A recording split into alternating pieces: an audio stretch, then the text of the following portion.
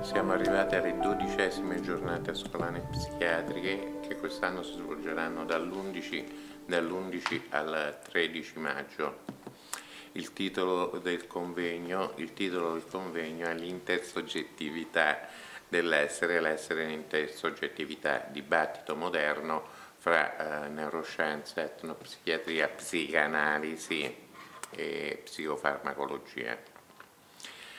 Il lavoro, il lavoro, del congresso viene eh, svolto come sempre dalla squadra, una squadra di otto persone che lavora alla meraviglia.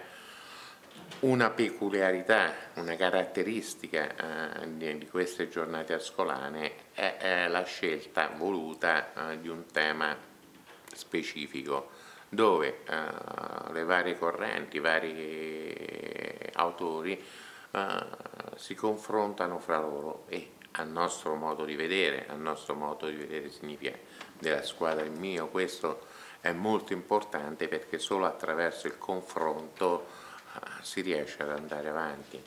Il tema scelto quest'anno, l'intersoggettività, perché?